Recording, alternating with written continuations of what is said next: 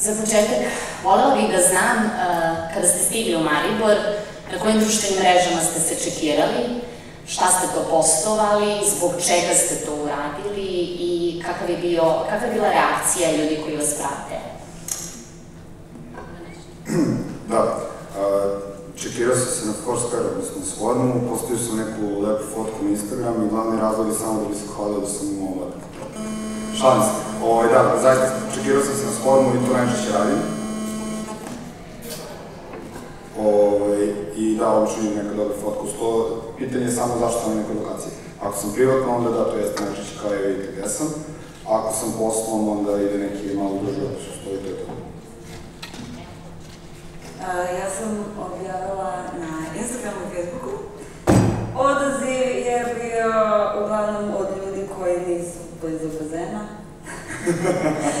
Ali ovoga, otprilike nekakvih 47 tisuća ljudi me mrzilo u tom trenutku. Hvala. Sam objavila na Snapchatu, to je društvena mreža koja mi je trenutno omiljena, zato što zaista oslikava realno mene, bez Instagram ulepšanih fotografija koje zaista moj brat strica koji radi sa mnom hvata u najlepšim mojim momentima, koji su samo možda 1% mog života. Um, takođe na Twitteru, um, jer moja strategija na mrežama je drugačija na svakoj mreži. Um, na Facebooku je to posao i putovanja, na Twitteru je to tehnologija koja je moja najveća strast, a na, na Snapchatu je realnost, tako da moramo da pokrijemo sve te sfere, da bi prosto ljudi uh, koji me prate na drugim mrežama su i drugačiji, drugačiji interesovani. Lidija, gde se vi čekirate kad... Samo na recepciji. Znači, nisam korisnik društvenih mreža. Ni Twittera, ni Facebooka, ni Instagrama, ni Snapchata, ništa. Samo, znači, recepcija i oči i uši širom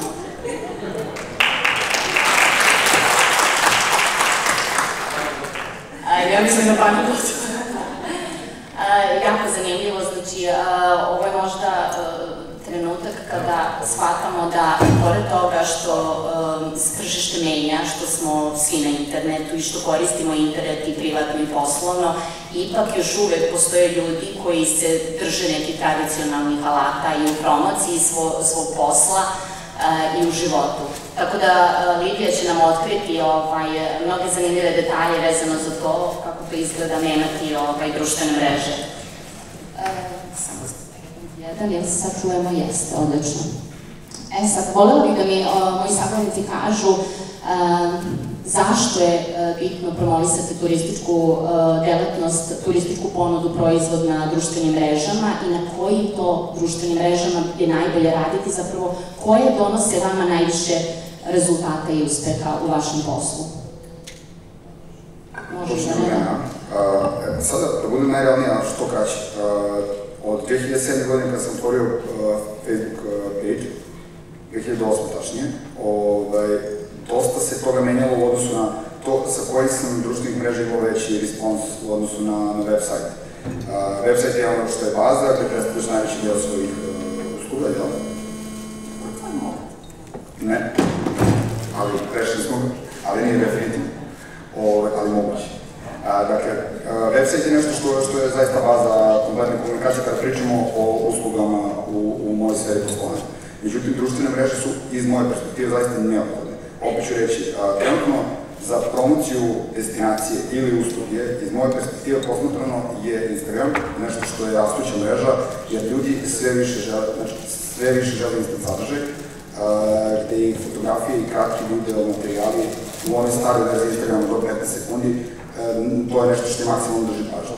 Čak sam primetio da, ja sam imao običaj da često stavljam duge, duge opise fotografija.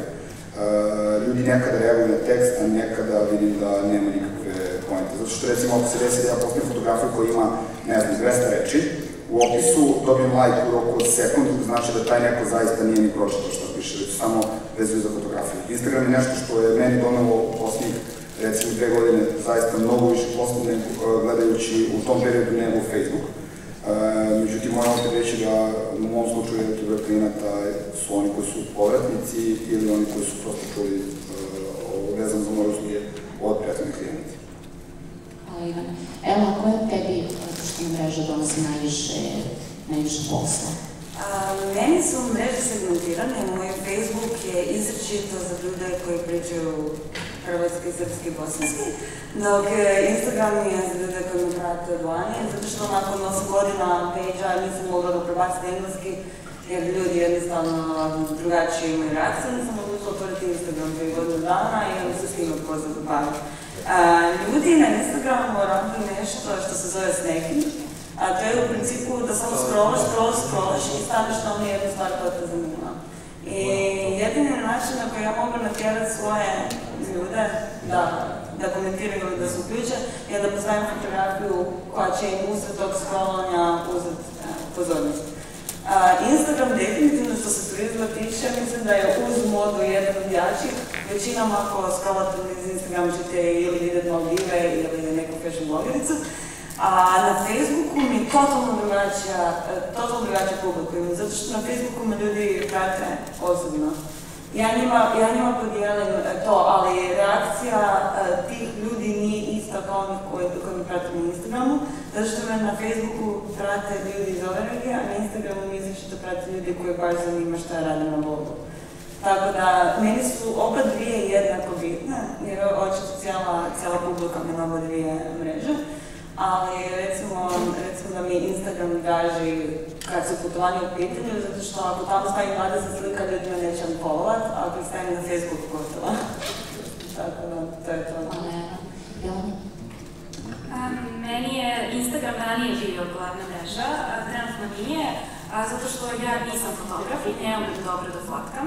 A, za mene više bitne, za mene su više bitne reči, najviše posla su mi reči donele, apsolutno najviše na blogu. Kasnije su tek došle fotografije, pošto sad, kao što sam rekla, radim sa bratom Kutrica koji sve fotka, pa su fotografije baš dobile novi nivo, mislim, na blogu, prosto bez njega ne bi to postojalo. A meni je Snapchat nešto što mi je trenutno glavno i mislim da tu ljudi mogu da dožive moju ličnost i takođe da vidi iz koje perspektive će biti napisano prosto imaju taj moj lični pečat, kako ja pišem i kako ja pričam i kako ja doživljam stvari. I o čemu ću možda da pišem, šta će više ili manje da me zanima, koje su moje koje su moje interesovanja, jer kada idemo na neku turističku destinaciju, svako od nas će druge stvari da gleda, traži, jede, pije, slika.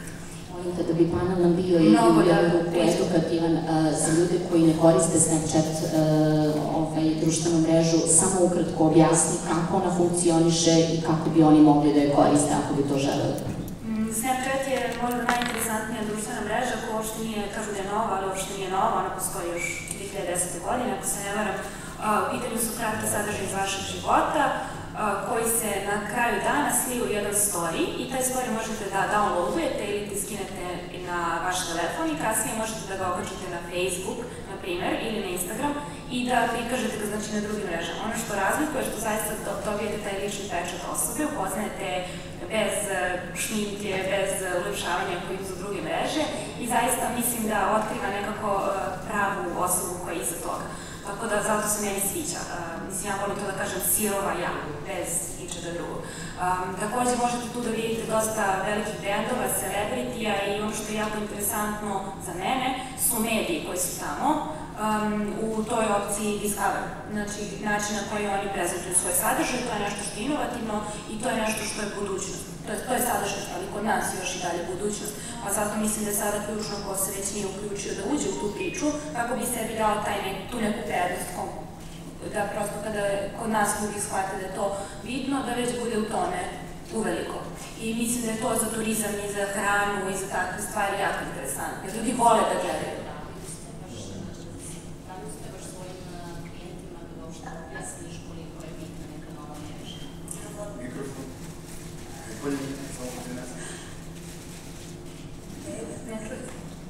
Pitala me koliko uspevam klijentima da objasnim koliko je bitna neka nova društvena mreža. Pa imam tu sreću ili nesreću, u stvari da samo sam sarađivala sa stranim klijentima, u Srbiji dosta ljudi ne zna ni ko sam ja, ni šta radim i čime se bavim. Tako da, ovaj, mene su uglavnom kontaktirale ili ambasade, nacionalni prevoznici, dosta pisanja je bilo uključeno, dosta takmičenja na kojima sam osvala neke nagrade, na primjer Austrian Airlines, Global Blogger Challenge, Wow Air Island Challenge. Tu su sve takmičenja koje su bilo otvorene za svetske blogere i ono što je mene tu razlikovalo apsolutno nije moj uh, following, koji nije nešto jako velik, Um, ali s druge strane jeste moj tip nekako karakterističan i način izražavanja i pisanja koji se njima dopao. Tako da, eto, u obu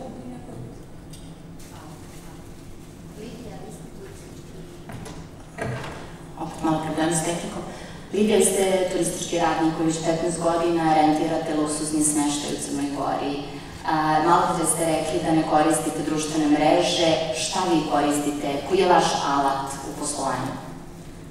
Aha, pa iskreno da vam kažem samo preporuka. E, ljudi vole da vide dobro i oči su to što prodaju proizvod.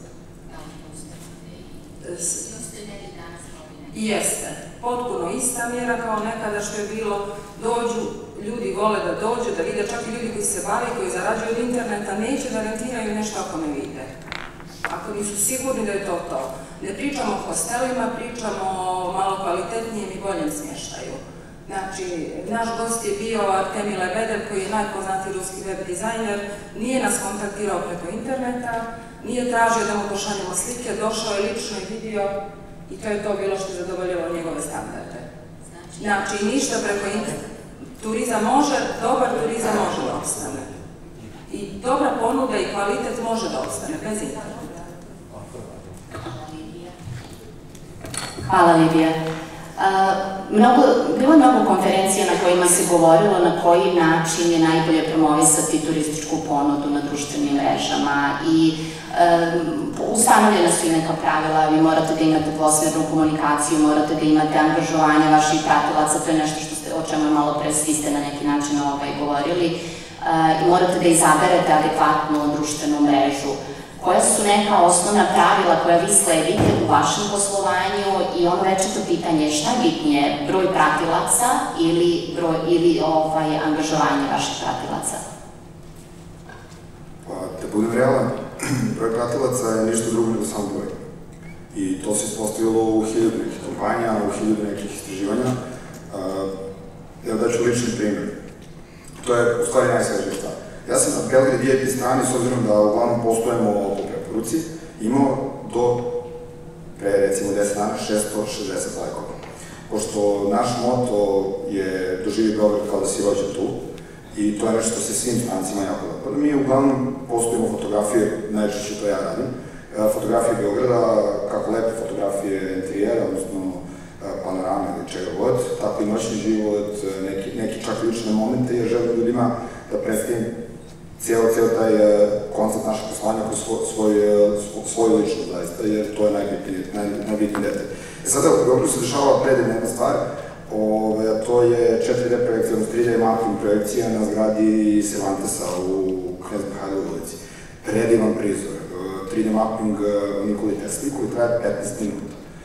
Ja zaista ne mogu prosto reći da vam koliko je to predivno bilo. Uh, fantastično zvučenje, prelep, prelep, prelep, zaista odlična projekcija. Međutim, ja sam postovao video od 30 sekundi, uh, gde u zadnjih 10 sekundi taj glumac koji se obraća ljudima uh, kaže da vam ne bih, da vam ne bi drugi pričali o meni, dozvolite da vam to ja kažem, da ja pričam svojim mislima i delima, vaš Nikola Tesla. Tu se video završava. Ja sam to uz neki kraći komentar i par hashtagova postovao 30. maja. Četiri dana kasnije, taj video je videlo milijon i 200 hiljada ljudi, šerovan je preko 8000 puta i meni je broj lajkova skočio na 2200. E sada, nalazimo se u Sloveniji, ja sam iz Srbije, imamo našu drugaricu ovdje iz Hrvatske, reću vam koji je glavni razlog zašto sam imao toliki šer. Srbi i Hrvati su svađali čije Tesla. Preko, bukvalno preko 2500 komentara od najlepših do, naj, do najgorih, I šta to govori? 660 lajkova dolazi do 2000 ili 2200 i ima milion i 200 hiljada pregleda. Dakle, broj pratilaca je nula bitnosti, bitan je sadržaj. I bitno je to što vi zaista želite. E, ako to prenesemo na Instagram, ja u ovom trenutku imam nešto oko 2000 pratilaca, e, prosječno mi je oko 5% tog broja je live fotografija. Što će reći da verovatno pola tih profila koji me prate ili nisu aktivni ili ko zna šta, ili prosto ili se ne sviđa moj sadržaj, pratim ono stokerski, jel? Ove, s obzirom da nisam star leta, jel? Pa kao nemaju baš mnogo šta da vidim, samo lep, lep, lep fotografije Beograda i noćnog života. E, dakle, uh, mislim da sam na ovom jednostavnom primjeru zaista dokazao da je sadržaj ono što je bitno. Broj pratilaca zaista ne znači ništa.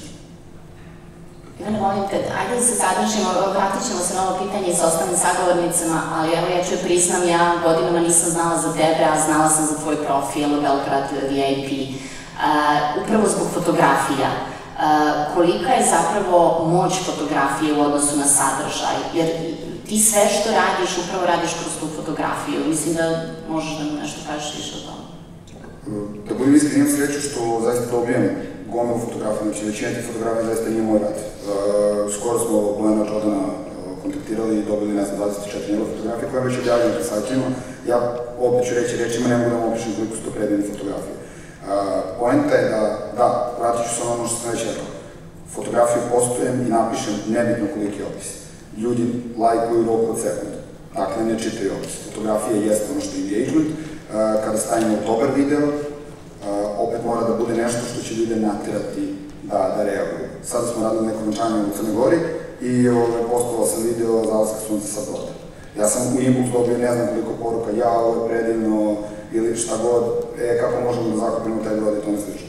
Dakle, opet se vratim, sadržaj jeste bitan, ali uh, ukoliko bi sad izvršio analizu svog profila, ima tu nekih ono posto, posto fotografija koje, ima ljudi, koje ljudima nisu interesantne iz nekog razloga. Ne znam zašto. Hvala Ivana. Uh, Ela, Jovana, da li si vi, da li vi sledite ovo pravilo prilikom ovoga? Ovak, a, a, Facebook lajkovi su smeće. Svaka budala može sutra otići kupiti si prave followere, fake followere, nebitno. Može sa 500 dolara, može sa 5 dolara. Osobno znam poznati ljudi u Hrvatskoj koji besradno su kupili followere, znači imaju po 800 tisuća followersa i 20 komentara na fotografiju. I ja sam jesam nekajan. I kogod vjeruje u to, zaslužuje da im se, da im se pljačke, da im se krade. Ti kao ozbiljan posao, e, da ti na temelju nečijih followersa a, a, a, zapošljavaš nekog, to za mene su neozbiljni ljudi. Meni ako neko pošalje mail i kaže ti imaš 200.000 pratitelja, sve želim raditi s tobom. A media kit, a data, a analize, ništa. Mislim, ono, a, ako ćemo tako, meni to vrijeđa, jer sam ja probala godine i godine da, da skupim ljudi koji će stvarno e, komentirati e, i biti dio toga i da, da netko samo na račun nekakvih pratitelja ide donje takvu odluku, meni, meni je to jako neprofesionalno. S druge strane, e, engagement, e, e, recimo, e, kad imate Facebook page, možete uspoređivati e, vaš page sa tuđim page-evima. U cijeloj, skoro u cijeloj regiji, moj Facebook ima najveći engagement. Meni je 500%, znači imam više 20 milijuna ljudi mjesečno. Stvar je tome što ljudi nekad ne žele lajkat vaš page. Zašto? Zato što njihovi prijatelji to vide. I neki dečko ne žele znati, ne žele da njegovi prijatelji znaju da on prati evo govornika. Ali dođe i ono, možda nabaci komentar, možda gleda, jer to se sve očitava u tim podacima koje ti vidiš kao admin u Insights. Izvini. Da, ako dozvoliš, na, na malopređašnjem uh, panelu, gde sam ja sedem na tom mestu, uh, i identičan komentar je imala naša prijateljica iz Adria Media, koja je rekla, e, ljudi, ljudi lajkuju te neke kao fancy stvari, ne znam, ono, National Geographic, pa kao lajkuju objave i tome slično, ali kao ne lajkuju kada mi objavimo na storiju, venčala se taj i taj fotografija sa venčanja, ali postoji kao pregled. Baš iz tog razloga. Ljudi prosto nekada se stide da kliknu like negde jer će to vidjeti njegov prijatelj ima like. Ja sam skoro dobio od prijatelja ono poruku je kao prestani da lajkuješ fotografije te i te poznate ličnosti. Kao pa vidi, to sam ja. Znači, kao ja se toga ne stidim, ali gomila ljudi ima taj trip like, kao ja, da te neko će vidjeti da sam kliknuo ono, evo dvornik ili koga god. Jer kao nisam, ja sam previše cool da bi to radio. I to, to, to jeste dodatni problem. Naravno, to opet se, opet se vratimo na, na, na engagement i, i kompletan ono, tvoj reč. To je ono što ljudi nažalost ne rade i gde se ono uticaj meri samo po broju followera, a ne zaista šta ti ljudi mogu da. Hvala. Jovana, da. Ja ne znam da koristim. A, ja sam živi dokaz da lajkovi nisu bitni. Mene su kontaktirali kada sam imala 400-500 lajkova na Facebooku. Um, da samo jednu stvar kažem, do duše na Twitteru sam jako aktivna već preko 7 godina. I tu se zaista vidi nešto o čemu ja razmišljam, šta ja čitam i ko sam ja zapravo. Tako da možda je to bilo nešto što je mene tu razlikovalo, što su me ti ljudi znali sa Twittera. S druge strane, na Facebook page ja i dalje nemam ni blizu lajkova koliko je, Ela, zaista ja sam jako mali, mala stranica, možda 4000 lajkova. Ali si dobra! Ali ono što je meni najbitnije od svega je kada vidim jedan komentar, znači na post na uh, Facebooku, zato što kada neka žena, mislim, moja žena komentariš, to je dan komentar, ne znam ko tebe, um, žena da, i kada neko zaista odvojio vreme da pročita i da analizira moj sadržaj i da mi da konstruktivnu kritiku. To je nešto što ne može, znači, sto lajkova da zameni. I mislim da su brendovi sve više toga svesni kod nas. Činjenica je da na društvenim mrežama imamo mnogo sadržaja. Kako možemo taj sadržaj da filtriramo i da na neki jednostavan način dođemo do neke informacije vezano za turističku ponudu ili proizvod koja je nama možda bitna? A, možda volela bih, Jovana, da ti počneš sa tim pitanjem vezano i za aplikaciju koju si napravila i koja možda može da pomogne svima nama. Pa ja smo napravili, lanzirali prošlom novembru jednu aplikaciju na Play Store-u, zove se Noise, kao buka N-O-I-Z se piše, možete da skinete pa da probate. Ono što je nama bila inspiracija, između ostalo, kad smo pravili tu mobilnu aplikaciju, je da imamo potpunu anonimnost naših korisnika zagarantovanu, tako da mi ne znamo ko ste vi kada se ulogujete, mi jedino znamo vašu tačnu lokaciju. I to je bila ideja Jelenina zapravo kada smo krenuli da radimo, da kada je ona u novom gradu, upali naš app i vidi oko nje šta se piše zaista iskreno, autentično i real time. Znači da kaže, oj, ljudi ovde, ne znam, najbolje slavali do BG-u, dođete ovde na kokice ili šta god, ili kao je užasno gužva na Brankovom mostu ili neki manijek u autobusu 75 na zelenjaku. I tako neki sadržaji koji su zaista uh, iskreni, autentični i real time. To je jako bitno jer na društvenim mrežama koliko god da jesu real time, opet imamo taj led neki između onog što se dešava i onoga sada. Mene zanima sada u ovom trenutku kada sam u novom gradu, gde ja da odem, ne znam, oko mene. Ali to ne bude možda ni Foursquare, nego možda baš da bude šta je sad ovog sekunda.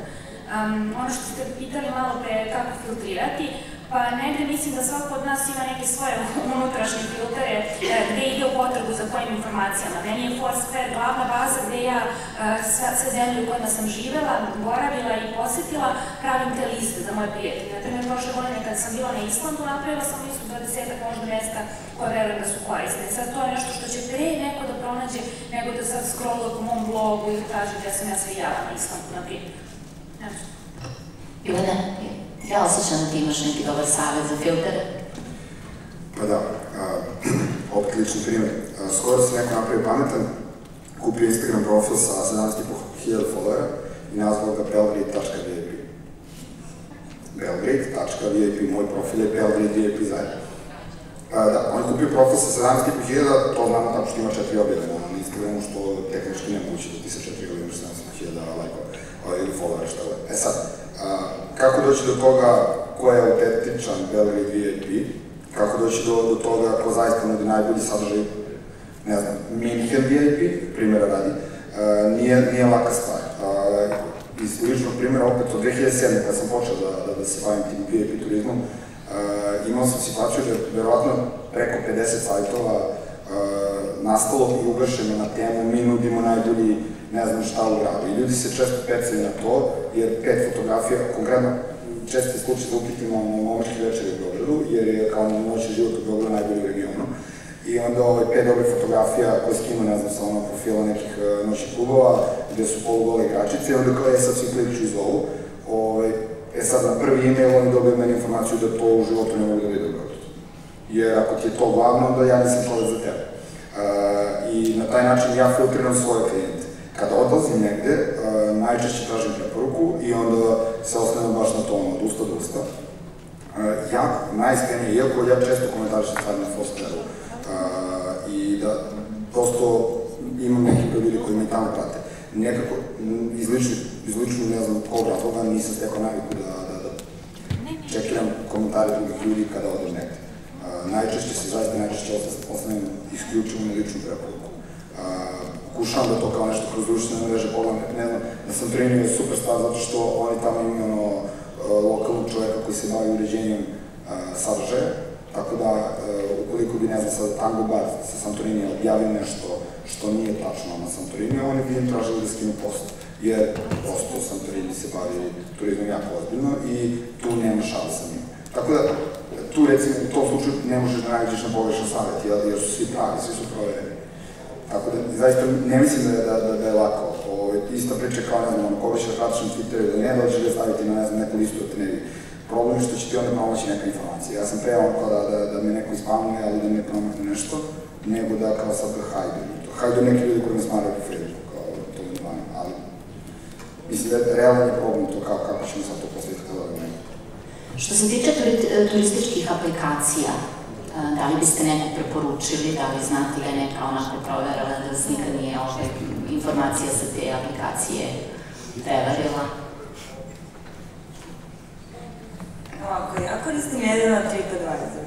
Međutim, problem sa TripAdvisorom je što ja nikad ne čitam komentare. Jer, e, i, a kada čitam komentare, čitam jedino ljude koji su šesti level ili iznad, znači koji su već dovoljno proputovali dovoljno videli da stvarno mogu za njihov komentar u obzir, jer najgore na TripAdvisoru što ti dođe neka američka obitelj u Dubaju 17.6. prošle godine na Ramadan i napiše komentar da jednu zvijezdicu, ne znam, Atlantisu, zato što su njegove ženi rekli da obuče dugu haljinu, pošto je sada vrijeme I onda se on naravno to požalio. Sad ima puno takvih ljudi koji daju loše ocjene i ti ne možeš jednostavno na temelju toga um, ništa izračunati. A druga stvar, iako nisam prije što je licemjerno od mene, čitala tuđe blogove, um, jednostavno nekad, nekad me baš zanima i tipa ako idem na neko određeno mjesto u neki određeni hotel, upišem u hotela i pišem bloger u Google. Zato što želim vidjeti te fotografije i fakat ne vjerujem ni Booking.comu, ni nikome, ništa, fotke sam googla i evo, mislim, ni fotka ovog hotela ne gledaju kao što na internetu, ali hoću reći da jednostavno ljudi, ljudi će, ljudi će svašta proći, da nađu ono što žele naći.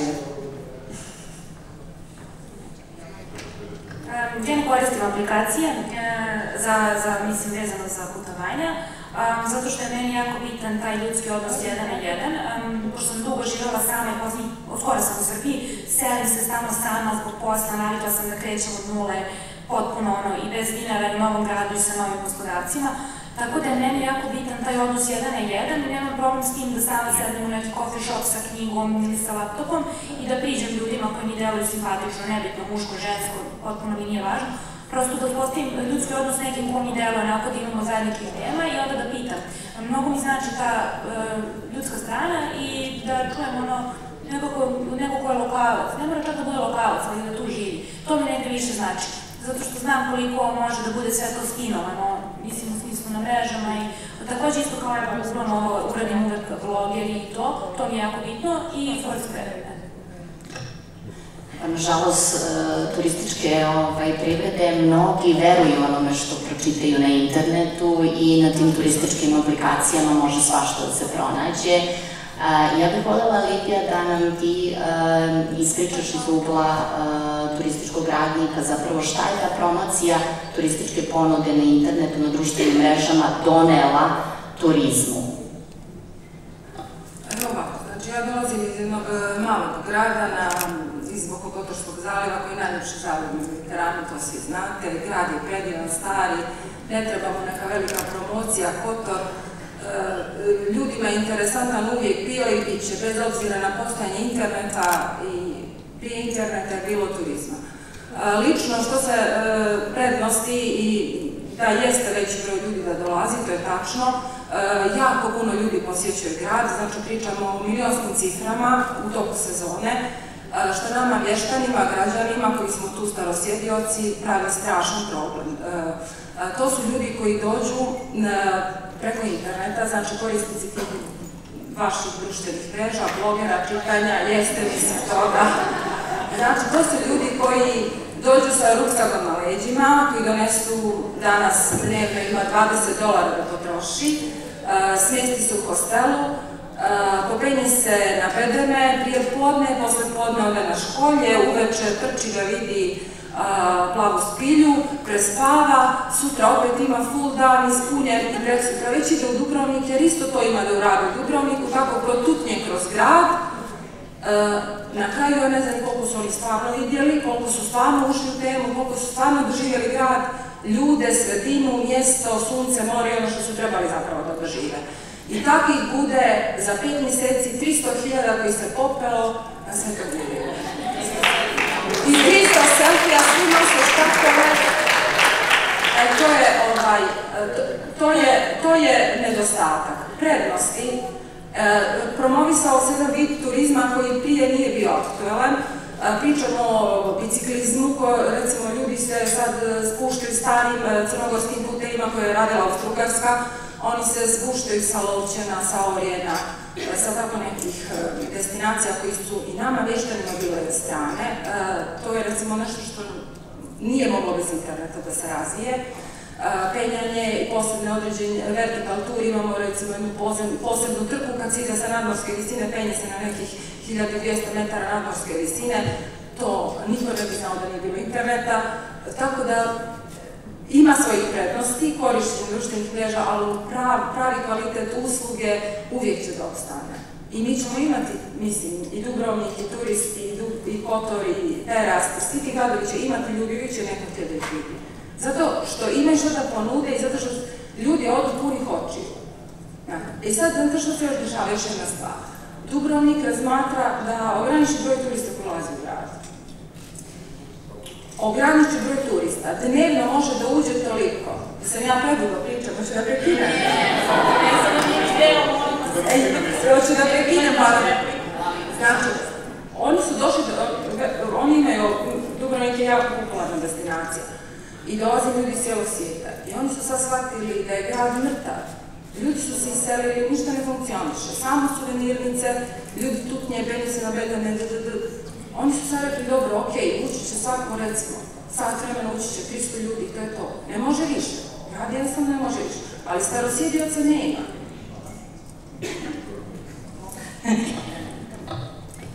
Evo ja ću, Ivane, moramo da se složimo smo nekad turističku ponudu birali e, prema brošurama, katalogima sa sajmova i bukirali smo 10 dana. Danas je mnogo turista koji bukiraju samo 2 dana. Izvoli, imaš repliku? Da, slažem se. Nekada smo išli u Frankfurt i Minhen na velike turističke sajmove, štampali preskupe brošure, e, pričali o, ne znam, 4-5 zvezde uslugama, onda došli na, na, na lice mesta i zatekli ne to. Slažem se da internet jeste doneo brže ljude, brže, brže protok informacija, međutim, kao što fotografije ovog hotela, te koje su postale ranije nisu baš poslikavale ovaj hotel, pa smo mi uradili sada novu tu fotografiju koja će poslikavati mnogo bolji hotel. Sa Crnom Gorom, gdje letujem često, radio dole, evo sad smo baš to pre okončanja organizovali, ove, imam, imam dvojaka iskustva do toga da na internetu to izgleda fantastično, da je to neviđeno, uživat ko zna reklamu za onu banku, ovaj, dođete i zateknete šupu. E sad, backpackera ima, uvijek ih je bilo, samo što se ranije nisu snabdevali ono informacijama na internetu, nego snabdevali na nekim njihovim ono, lokacijama o kojima smo pričali. Kako? Na forumima nekada, da. E sada, a, ono što se nudi preko interneta, da se razumemo, situacija na ovaj vikend je opet dobar, do, dobar primjer. 50 ljudi na brodu, 48 stranaca, od kojih 46 kaže mi nikada nismo čuli za Crnu Goru, jer im je promocija na internetu očajna. I s tim se apsolutno slažem. Jer je nekada Crna Gora bilo bitno nagažu Klaudiju Šifer, da im bude u spotu, a ne da to plate da se negde emituje. O tome se radi. A, promocija na internetu je neophodna. Ne dovodi loše ljude, dovodi sve ljude. Da li ćemo ograničiti ulaz ljudima, broj, određen broj ljudi u Dubrovnik, pa da, hajde da ono čekiramo ko je ušao, ko, je, ko ne, ali onda nemojte da snimate uh, Game of Thrones i nemojte ga reklamirati, jer koja je point? Zašto reklamirate destinaciju ako ne želite da pustite ljudi? Ljudi su se iselili i nema starosedelaca.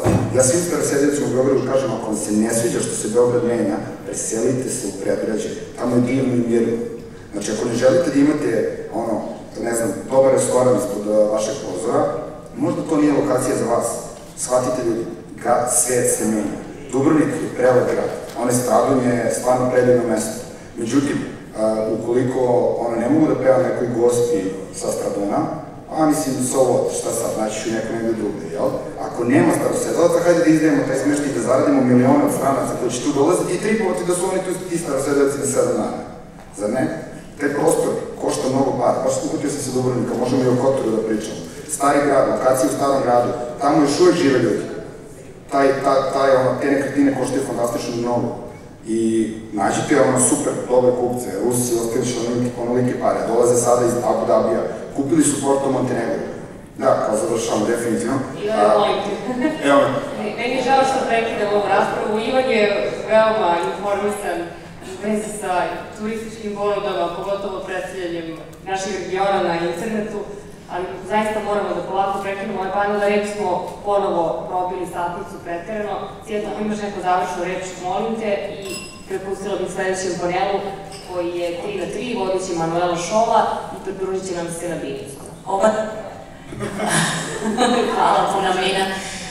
Činjenica da je ovo jako zanimljiv panel, da bismo mogli da pričamo i do sutra ovaj, o ovoj temi. Žao mi je što se nismo dotakli toga kako je moguće, kako je moguće otići besplatno putovati ovaj, po svetu. Ja bih voljela da kontaktirate i Elu i Jovanu da vam one ovaj, nešto više kažu o tome. Biće ovde do nedelje ove, je li tako? Um, nismo se dotakli ni teme koja je onako prilično ovaj, važna i opširna je mnogo, a to je kako napraviti turistički brend i za koliko, koliko treba vremena uh, za sve to. Ali pre početka panela složili smo se u jednom, a to je da um, ne možemo uh, dobro promovisati turističku destinaciju ako ne uključimo sve aktere te turističke destinacije. Znači, ako su svi nisu svesni toga da moraju da se promovišu, jer tržište se menja, svi se mi menjamo i složili smo se u tome da moramo da kombinujemo tradicionalne i digitalne alate u promociji. Znači nisu dovoljne samo društvene mreže. Nekad je mnogo važna preporuka da biste opstali 15 godina u nekom poslu. Znači, poenta je da se to sve umreži i da se ovaj na pravi način koristi. Hvala vam najveće što ste došli. Hvala vam.